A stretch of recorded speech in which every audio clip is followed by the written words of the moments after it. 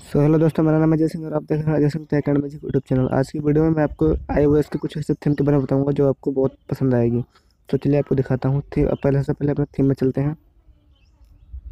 और थीम में जाने के बाद आपको सर्च बार पर टाइप करना है।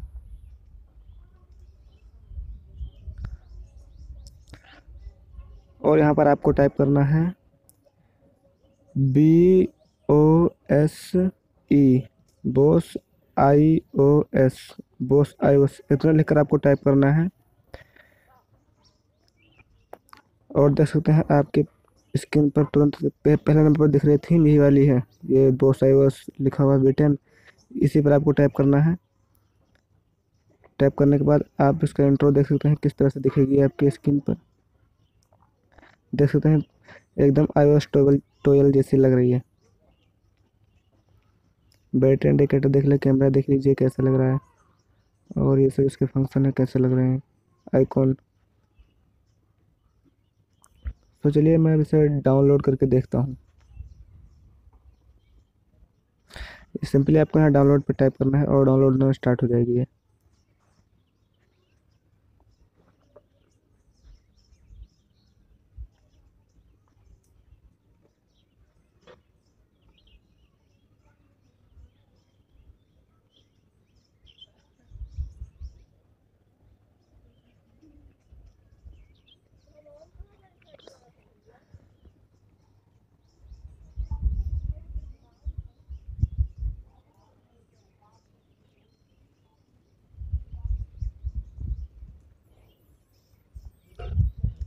सॉरी नॉइज़ के लिए माफ़ी माँगता हूँ।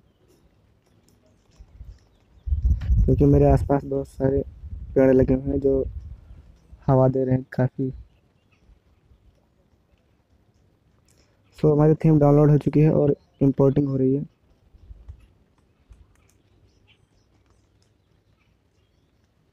इंपोर्ट होने के बाद हमें इसे अप्लाई करना है।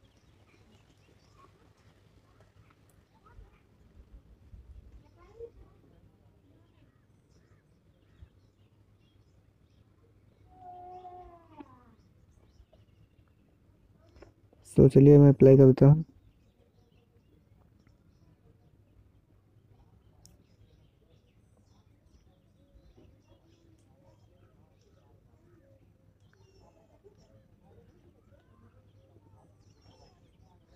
आपका फ़ोन एक आई ओ ट्वेल्व के सिस्टम की तरह हो जाएगा।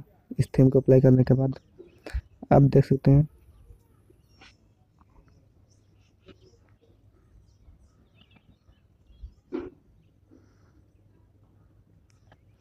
देख लीजिए वॉलपेपर कैसा दिख रहा है। आई ओ ट्वेल्व वाला वॉलपेपर है ये। और इसके स्टेटस बार भी देख लीजिए।